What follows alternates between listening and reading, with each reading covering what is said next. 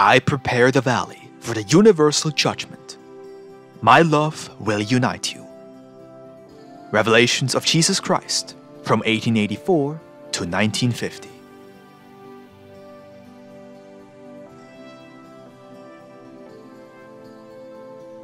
The consummation of creation. I am preparing the valley where all my children must unite for the great universal judgment. I shall judge with perfection. My love and charity shall envelop humanity. And on that day you shall find salvation and the balm for your ills. If today you atone for your faults, allow your spirits to purify. Thusly will you be prepared to receive from me the inheritance that I have destined for each of you.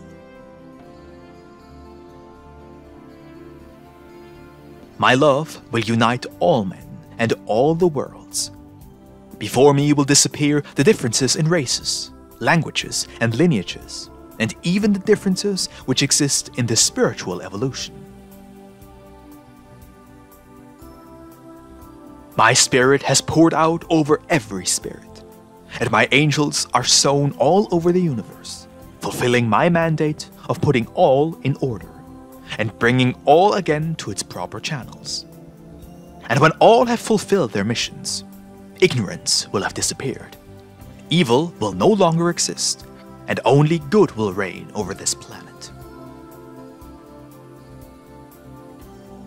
All of the worlds in which my children are perfecting themselves are like an infinite garden Today, you are tender bushes, but I promise you that the crystalline waters of my teachings will not be lacking. And with its watering, you shall continue growing in wisdom and love. Until one day in eternity, when the trees are crowned with fully mature fruit, the divine gardener shall revel in his work, tasting the fruits of his own love. I wish that at the end of the struggle, when all my children have reunited to spend eternity in the spiritual home, they shall participate in my infinite happiness as the Creator, taking into account that each of you have taken part in the divine work, building or rebuilding. Only in the spiritual will you discover that of all that I have created since the beginning, nothing has been lost, that in me all lives again all grows and is renewed. And so, if so many beings were lost for so long, if many, instead of works of life, created works of destruction, they shall find that the time of their disturbance was fleeting, and their works, as bad as they were, shall find repair in the eternal life, to be made into collaborators of my unceasingly creative work.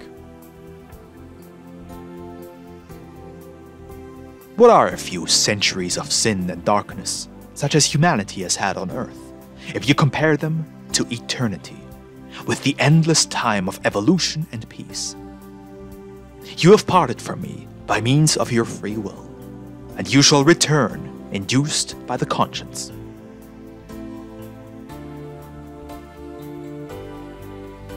This world is not eternal, nor is it necessary that it be so.